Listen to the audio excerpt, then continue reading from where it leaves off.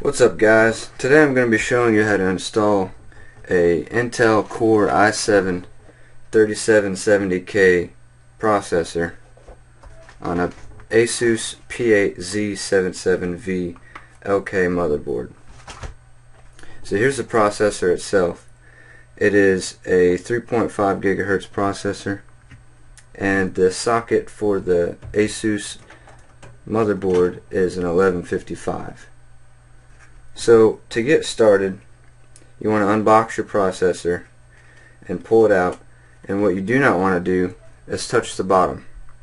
You don't want to touch this or you don't want to touch the socket on the motherboard itself. The heatsink comes in the box with the processor and it already has thermal paste on the heatsink. So you want to grab the processor and this pin right here comes in the box like this. What you want to do is pull this pin out and pull it all the way back and the cover comes up with it. So this is how the processor goes in it.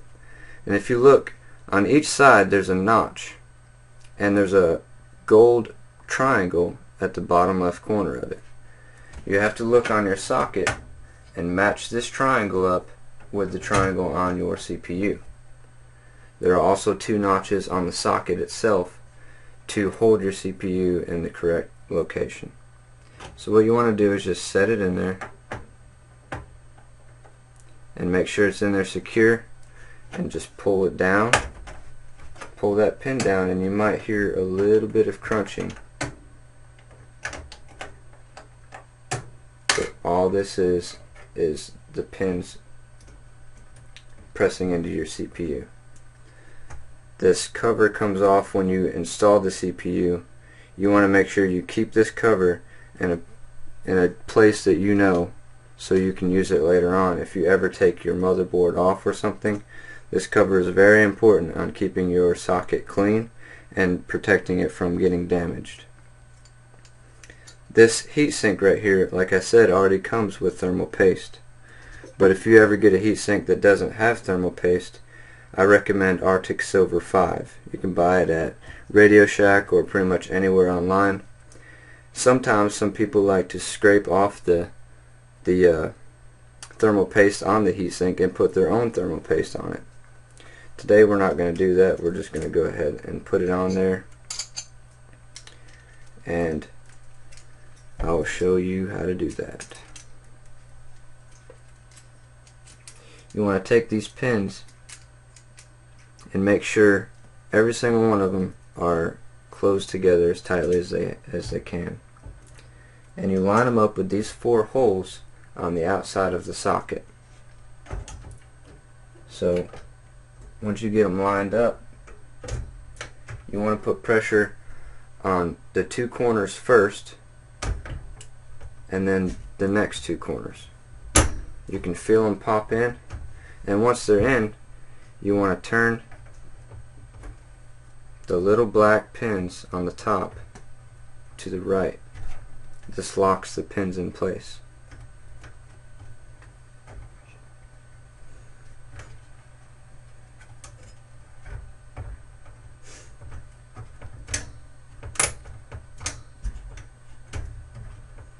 So after you get your heatsink on guys, you want to plug in your fan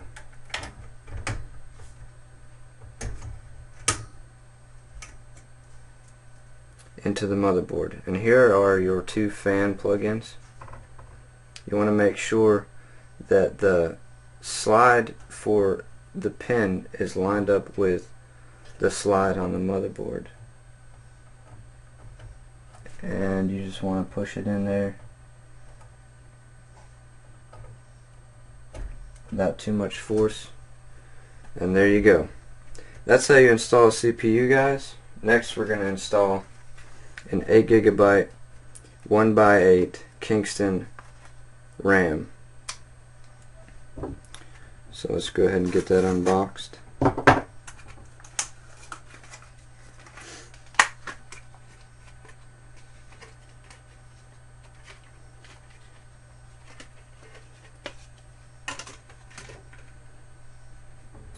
Now this RAM only goes in one way.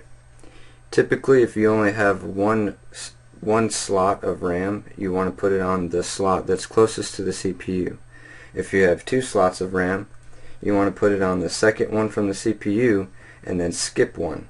That's how you do dual RAM. If you have three and so on you need to look up how to do that particular setup. So line up this notch with the notch on your RAM slot and get it ready to go in and you want to put firm pressure on both sides and you can feel it go in and the slots will automatically lock in whenever this the RAM gets locked in place. So it's a pretty easy process guys. So that's how you install a CPU and a RAM on my P8Z77LK motherboard. I want to thank you guys for watching. Hit the like button if you like. You can subscribe to my channel. I'll have more how-to videos later on on this particular case. I'll be installing the power supply and the GPU next. Thanks guys. Peace out.